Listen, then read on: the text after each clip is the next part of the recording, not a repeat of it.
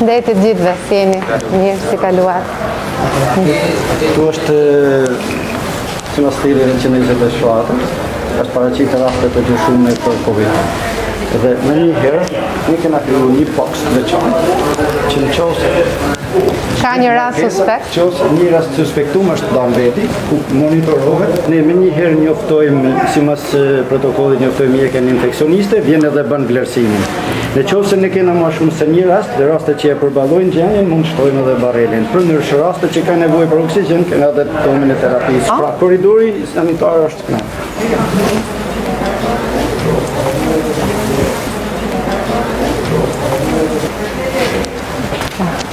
Kjo është për dhe parë një gjithë, pjesë është gjithë po. observacioni ka funksionu si normalisht për shumë një pjesë. Në fakt, investimi që kemi bërë përpara pak kohësh në urgjencë, Ka qenë ai i duhuri sepse ka krijuar rrugëtimin sipas triazhit, zonës së kuqe, zonës së gjelbër dhe tashmë urgjenca e spitalit është tamam e sistemuar sipas një standardi të mirë.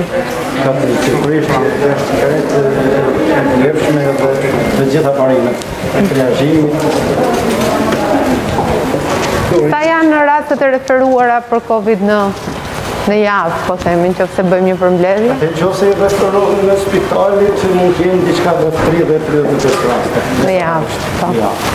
Fakt, Shkodra është një ndër qytetet që ka patur dhe numrin më të lartë të infektimeve nga fillimi, tashmë është e treta pas Tiranës dhe Durësit si një zonë e nxehtë, ndaj pavarësisht përpjekjes epidemiologëve dhe në fakt punës mirë që kanë bërë për gjithë ndërprerjen e zinxhirit të infeksionit. Kemi tashmë 6 vatra të nxehta në Shkodër, të cilat janë duke u vijuar dhe hetuar. Po. Kryzimi funksionon jo të kena imazherinë, ku po. mos i ka bërë skaner, është dhe kena diskutu. Në rast COVID të dyshimtë në imazheri, është përcjellë te reparti infektiv. Këto janë pajisjet e reja të cilat janë shtuar reanimacionit? Këto janë pajisjet e reja që janë shtuar. reanimacionit, pra janë dy respiratorë, janë 13 monitorë, ka shiringa elektrike, ka sete intubimit, një po e një ventilator portabël që do të instalohet në makinë. Në autoambulancë? Në autoambulancë. Aspiratori në reanimacion apo salë? Aspirator për salën. E kishit të nevojshme aspiratorin? Kishit të nevojshme. Ndërkohë edhe respirator?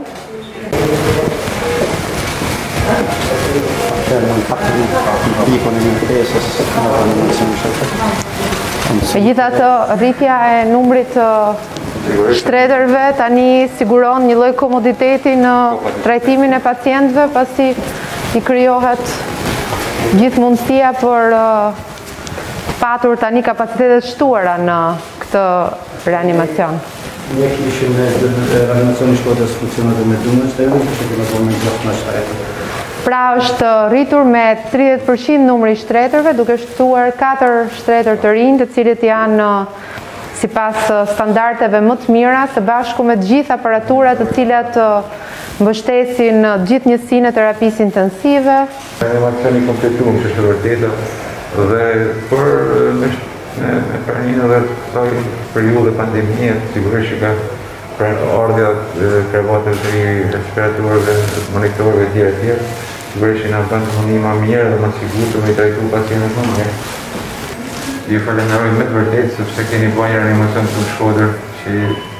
Mendoj se as spitali privat nuk e ka.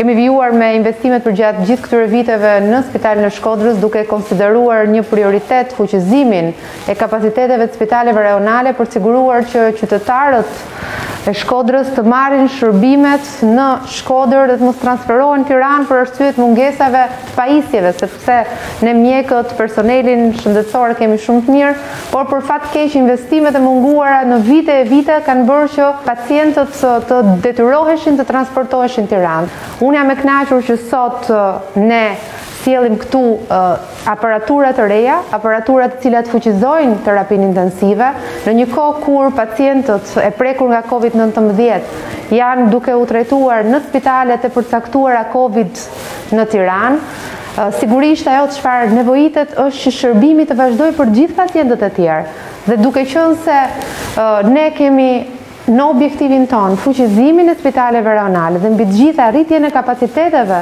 të tyre, kemi siguruar që në spitalin e Shkodrës të rrisim me tridhjetë për qind kapacitetet për sa i përket terapisë intensive dhe jo vetëm nëpërmjet shtretërve të cilët janë të disponuar pra shtretërve të rinj, por edhe një seri pajisje duke filluar nga monitorët, nga respiratorët, nga shiringat elektrike.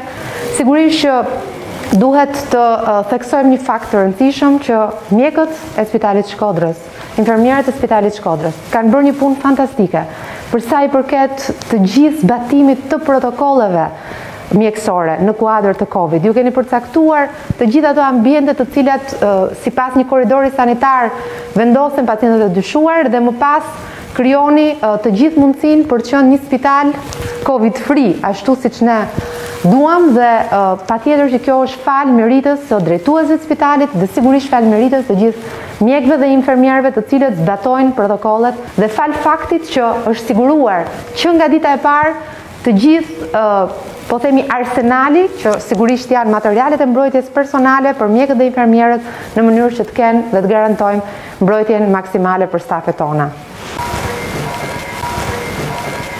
E kërëri që të kena, më të të kena të të të të Ashtu, a? Pa, një dita e parë që kena fillua.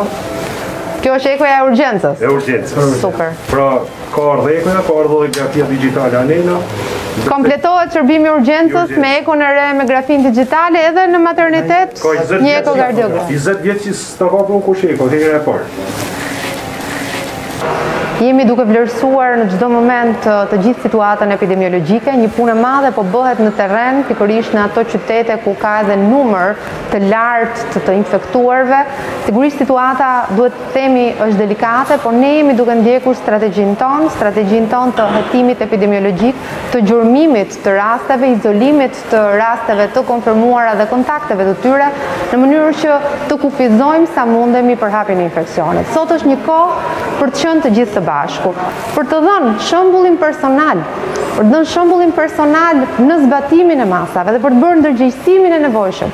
të gjithë qytetarëve për të mbajtur maskën, për të ruajtur distancimin social, për të patur higjienën personale të nevojshme, në mënyrë që ne të vijojmë të jemi të suksesshëm në këtë luftë. Sigurisht që situata vijon të jetë delikate, mjekët, infermierët po bëjnë një punë heroike për pacientët e shtruar, nga ana tjetër mjeku i familjes po bën një punë fantastike për sa i përket ndjekjes së personave të cilët kanë simptoma por janë të izoluar në shtëpi dhe gjithë organizimin Kështu, sipas një strategjie të përcaktuar, të cilat është hartuar nga Komiteti Teknik i Ekspertëve dhe po ndiqet në çdo fazë të zbatimit të saj nga të gjithë ekipi i shëndetësisë. Por që kjo strategji të ketë rezultate, të vijojë të ketë rezultate të suksesshme, nevojitet bashkëpunimi i çdo qytetari.